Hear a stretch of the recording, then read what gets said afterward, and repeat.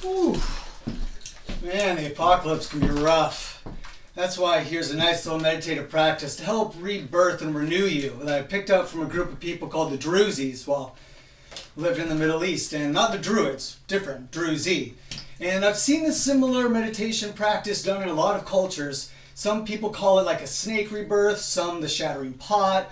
But I'm going to explain to you the basic form, but you can do it a lot more simply than this. You don't need to do it the traditional way, which I was told was at sunset. As the sun is setting, you face the sun and you spread out your arms and just take a few deep breaths. Now you don't have to spread out your arms, but the reason is you're just trying to open yourself up, feeling a little bit vulnerable, which is kind of the purpose. So make sure that you know don't have any raiders nearby. Now, as you're doing this, picture yourself as nothing, really just empty everything inside you with every breath. And then picture the blackness of your entire body right at the center, right in the navel. There's a small little light bouncing off that sun. And as the sun fades, it grows and it starts to burn out everything bad, everything negative. Maybe you looted a whole family that didn't need to be looted. Maybe you pillaged a whole village that didn't need to be pillaged.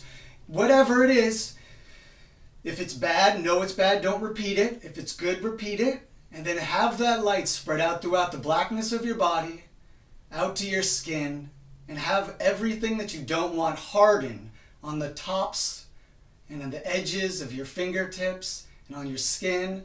Now this is the part where some people say snake, some people say it's like clay baking. You're wet as you're building it, and then once you fully dry or harden all of the awfulness, you shake it off real quick. And that doesn't even have to be physical, but you're supposed to shed it a little bit.